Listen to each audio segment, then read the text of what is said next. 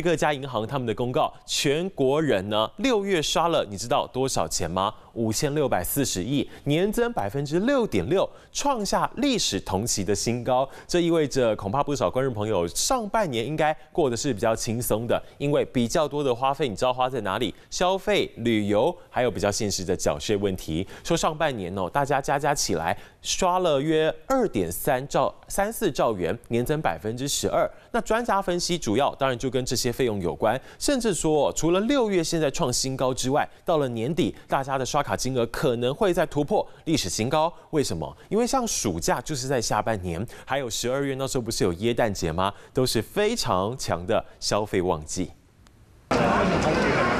商店内人潮满满满，人手还不止一袋战利品，战斗力十足，也反映在刷卡额上。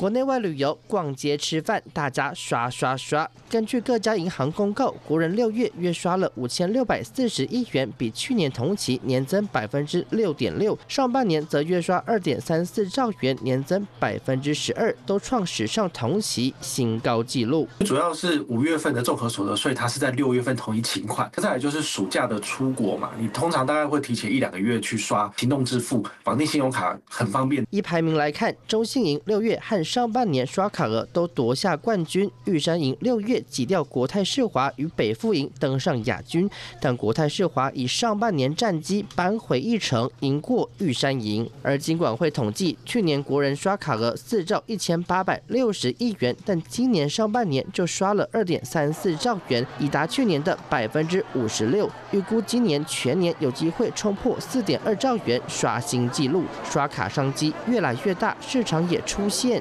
新趋。势。现在很多银行都喜欢把它的现金回馈卡转换成点数回馈的模式，它就可以省下很多的这个支出成本。现金回馈国内的顶标大概是国内两帕，海外三帕，但是点数回馈可以来到三到三点八帕以上。你还是必须要去做折抵、换礼券、折刷卡金，会变得比较麻烦。专家提醒，各家银行信用卡优惠互有增减，涵盖福利也会调整，消费者可多比较，选择最适合自己的。华视新闻曹生谢君正台北采访报道。